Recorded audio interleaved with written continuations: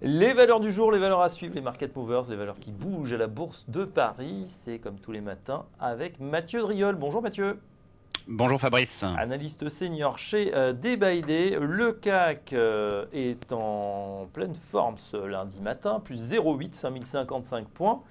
Qu'est-ce qui se passe sur les euh, valeurs? Vous avez eu quelques valeurs à l'achat notamment.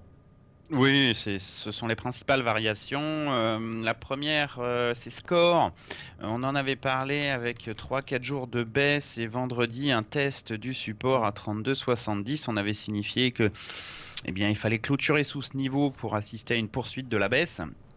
Bah, ce matin, euh, on constate que, le niveau a plutôt bien fonctionné puisqu'on n'avait euh, l'avait pas enfoncé en clôture. On avait fait une sorte de petit doji avec une mèche basse et ce matin, gros gap aussi avec un plus 4,40 sur la valeur qui effectue une reprise haussière, ma foi, très dynamique en direction de 35,40, euh, la toute première résistance. Voilà, effectivement, plus 4,5, 34,63 ce matin pour euh, Score. On continue toujours à la hausse avec euh, un des chouchous du marché, c'est Orpea.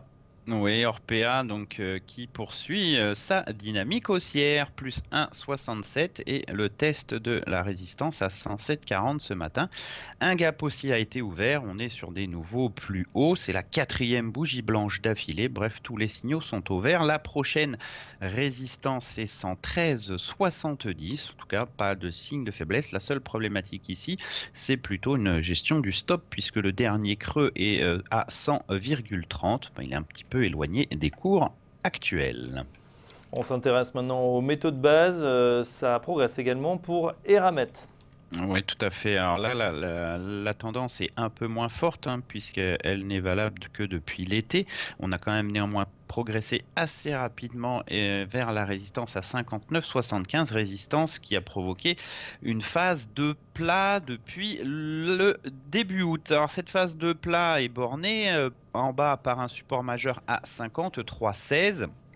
Ce niveau a été testé à deux reprises et à chaque fois il a provoqué un rebond. On est maintenant avec ce plus 3,15 presque au contact de la résistance. Résistance qui théoriquement à terme devrait être franchie si on conserve cette lecture en tendance haussière. La cible suivante c'est aux alentours des 66.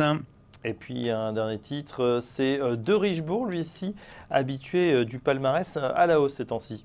Oui, euh, une quatrième euh, bougie blanche d'affilée aussi, un plus de 67.